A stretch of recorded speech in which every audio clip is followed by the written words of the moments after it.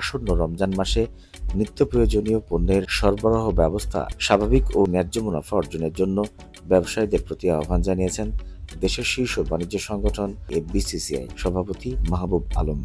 রমজান মাস উপলক্ষে নিত্য প্রয়োজনীয় পণ্য সামগ্রীর মজুদ, আমদানি সরবরাহ ও মূল্য পরিস্থিতি পর্যালোচনা বিষয়ক এক মতবিনিময় সভায় এই আহ্বান জানান এ বিসিসিআই সভাপতি। আমি মনে করি যে এই রমজান মাসে আমরা যারা ব্যবসায়ী, অবশ্যই আমরা ব্যবসা করব লাভও করব। কিন্তু আমরা একটু যদি নিজেদেরকে আল্লাহর কাছে এবং রসুলের কাছে আমরা যদি একটু কমিটেড হই যে আমরা কি করতে পারি আমাদের মানুষের জন্য তাইলে দুনিয়া এবং আখরাত দুদিকে আমরা কিন্তু পাবো।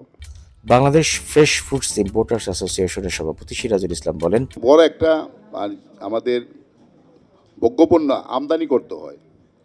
এখানে কিন্তু আমাদের যে কাস্টমস রেভিনিউ যারা এনবিআর তাদেরও কিন্তু সহযোগিতা খুবই গুরুত্বপূর্ণ।